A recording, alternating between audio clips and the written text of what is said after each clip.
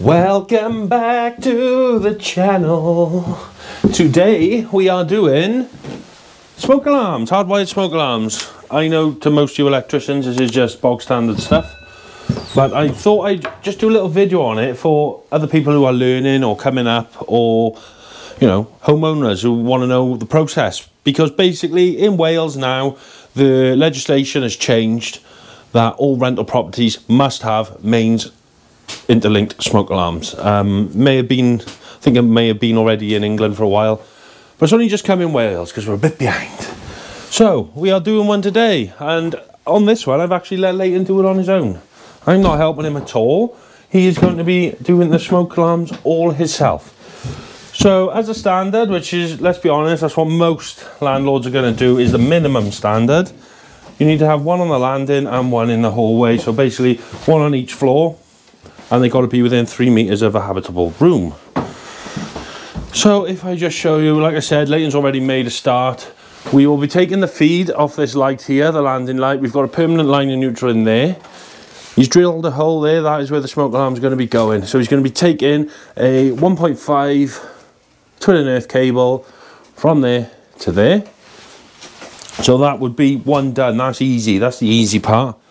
Um, so we've got main battery backup, smoke alarm there. The hardest part is the interlinking, which, you know, this is where, you know, it's going to benefit landladies, landlords, homeowners, etc. To show what sort of work goes into it. So basically, to do that, we need to get a cable then from this point to downstairs. Because downstairs, it's a bit of an odd house this one. It's not really got a, a hallway as such. So there's going to be one there.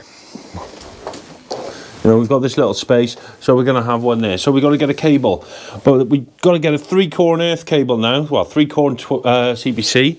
Because you're going to have a permanent line, a neutral, and then we're going to have an interconnection cable between the two, which is a signal cable. So if this one goes into alarm, it sends a uh, signal down this cable, down to the up upstairs, and vice versa, so they can talk to each other. There are ways of doing this wirelessly. Um, I say wirelessly, you've still got to get a cable to the base. So, for instance, if we was doing a radio link base, we'd still need a cable from there to there for a permanent feed, but it, the actual interconnection is wireless. So we'd still need to get a feed from there to there. We're not doing that purely because of costings. Um, they're about 50 to 60 pound just for the base then you've got to buy the smoke alarm on top.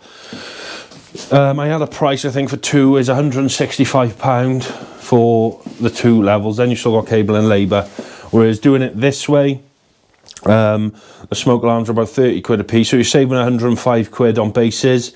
Um, there's a little bit more cable. Not a lot because cable is is going up in price but it's not you know, out of this world expensive. You know, we've probably used 15 meters, so it's not even a pound a meter. You're talking, I don't know, 10 quid's worth. And then extra hours labour, maybe two. So it's going to work out cheaper this way. It's just a bit more upheaval. So, what Leighton has done, he's drilled a hole down there. I'm walking up and down the stairs like a bloody yo-yo. Um, he's drilled a hole there, he drilled one there, and he's hit for some reason this this ceiling has got concrete pillars running through. I'll show you when we go upstairs. And he hit the concrete. So he's moved it over. Smoke alarm will cover that hole anyway. And he's taken the three core and earth up because he's a ledge. he's managed to fish it then from that point across, pull the floorboards up. I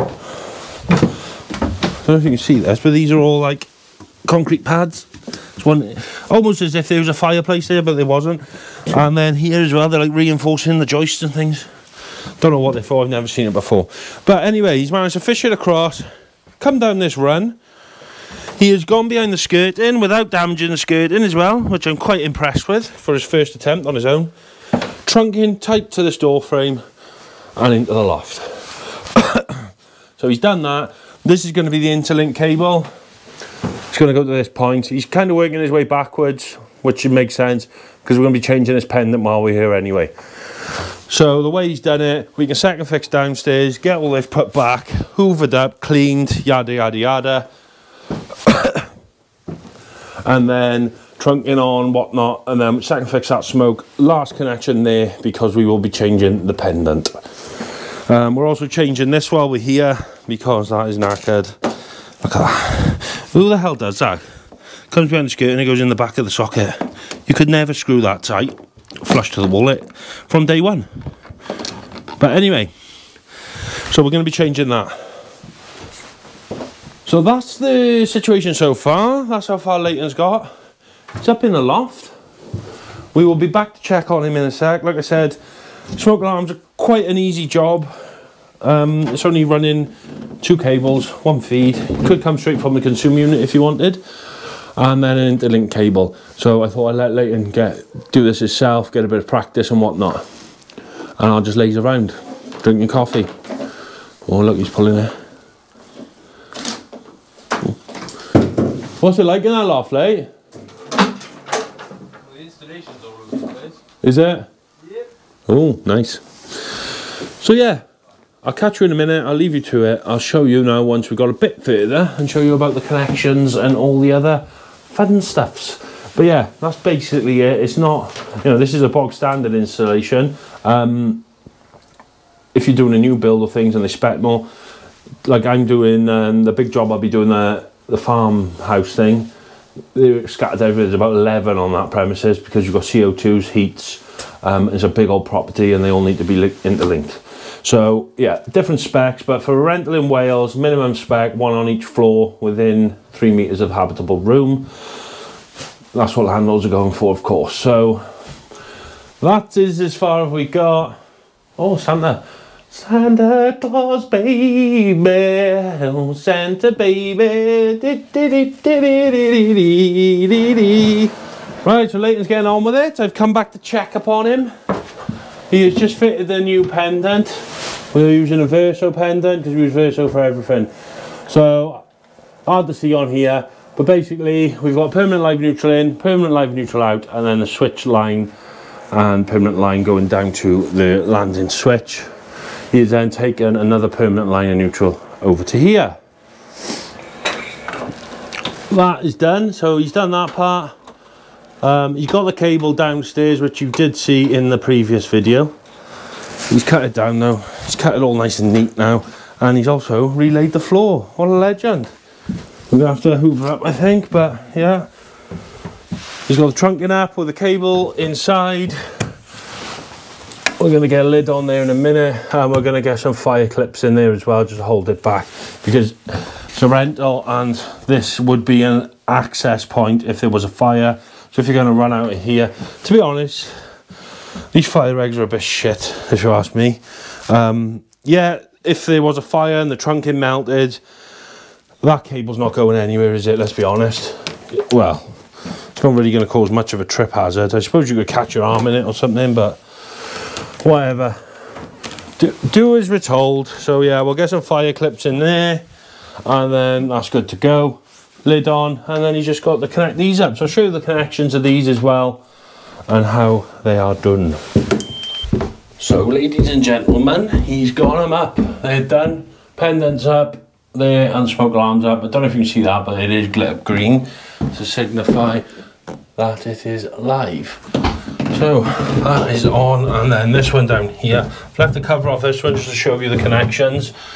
So you've got your line and neutral, they're pretty straightforward, your brown and your blue. You have the middle cable, this is why you need a three core earth, because you have the IC, which is the interconnect, connects point A to point B upstairs. Use your black for that. So you sleeve the grey, blue, to signify that's a neutral, earth sleeving on the earth. The interconnection cable stays black. A lot of people put them as brown. I used to do it myself, I've been guilty of that.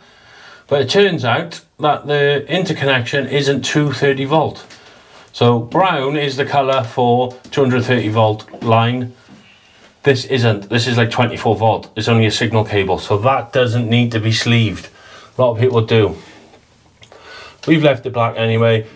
If you want to, prove me wrong in the comments, show me some evidence. But that's what I've been told and apparently I've been doing it wrong all these years. These are the Aico fittings. We always use Aico for our smoke alarms. Don't think there's much better out there, if I'm honest. Such a variety of range. And then that just slots on here, like so. And there we go, ready to go. Test it, you just press this button and hold. And then you can hear upstairs going as well. So if I let this go, you can still hear upstairs going. So that proves that the interconnection's work and they're doing exactly as they should be. Good job, Lee, good job.